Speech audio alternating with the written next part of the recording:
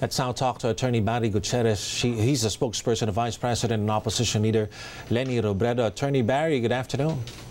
Good afternoon, Ron. Good afternoon, Denise. Now, we do want to get the reaction of the Vice President uh, to her approval and popularity rating, the second lowest among top government Philippine officials.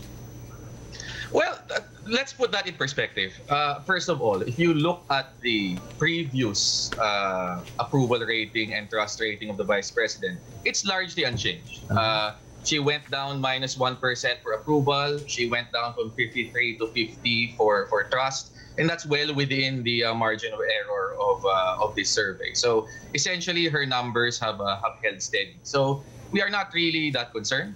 57% is still a majority. And as I said, you look at it uh, from a historical perspective, her numbers have really just uh, revolved around uh, around 60% or so uh, approval uh, over the past uh, two three years or so. Yeah. And you have to consider you have to consider that this is also in the face of unrelenting attacks against her on on social media. So uh, it's it, it's uh, all things considered, uh, we think uh, this is a very positive uh, result for the vice president. You're right. Um, it uh, her rating it wasn't because it declined, but because it didn't move.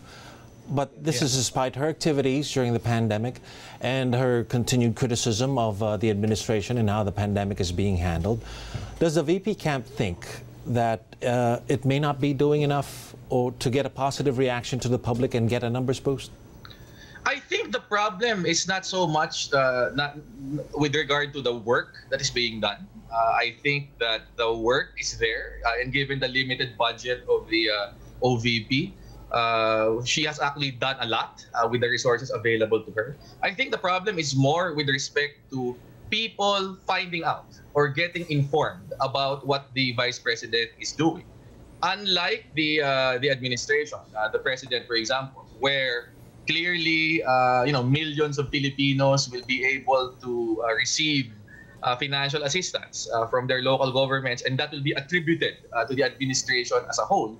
The VP does not have that uh, particular luxury. So, and since we don't really have access to the same level of communications infrastructure as Malacanang, we do not, and we are co- under constant attack of, by trolls and other uh, people who persist in spreading fake news online about the VP, uh, we're really hitting a, a, disinformation wall, and we have to uh, we have to deal with that uh, every day that we are uh, striving uh, to work for the for the Filipino public. But as I said, this is not really a concern that the vice president prioritizes.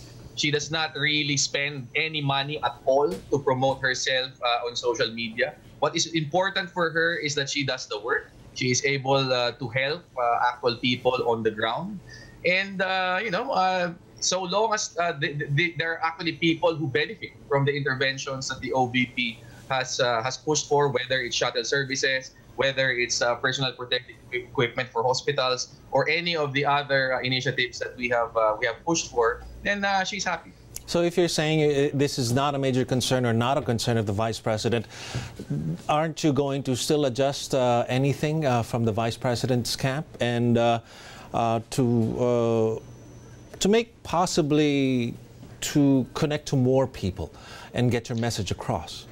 Well, we have been we have been striving to inform people as to the. Um, things that the vice president has done all throughout the course of the uh, pandemic.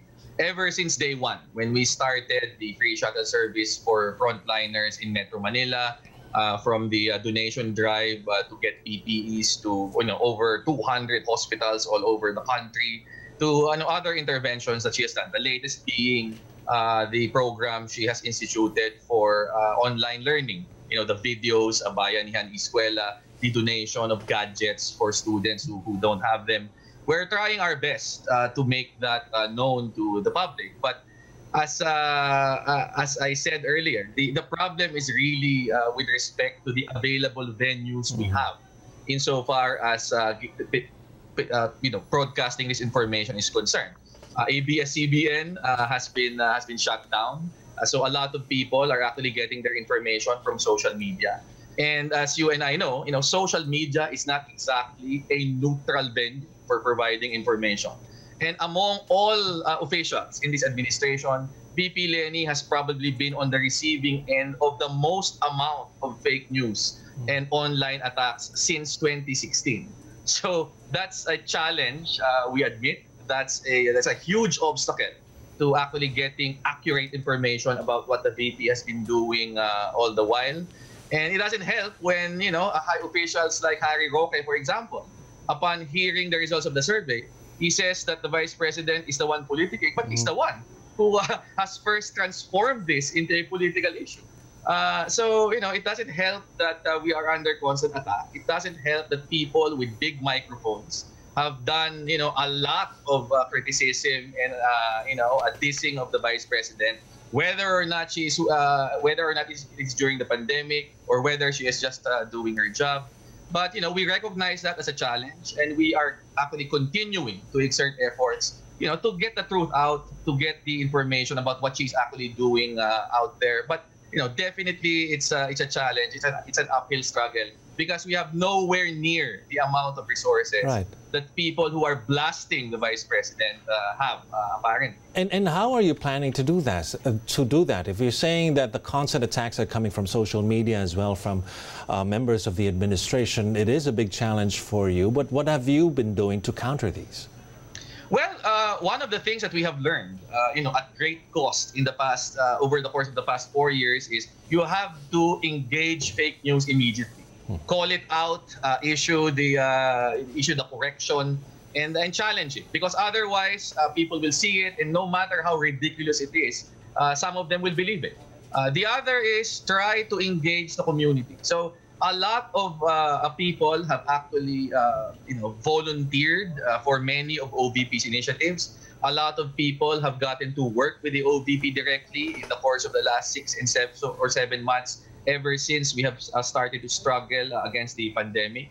And uh, I think that a lot of them have also realized the importance of not just working with the VP, but also talking about the work that they have been doing with the VP on social media to counter the disinformation uh, going out there. And we're, we're confident that, you know, uh, with a, a, faster response time to, to fake news, with bigger communities actually moving uh, to, uh, to help us uh, get the, the truth out there.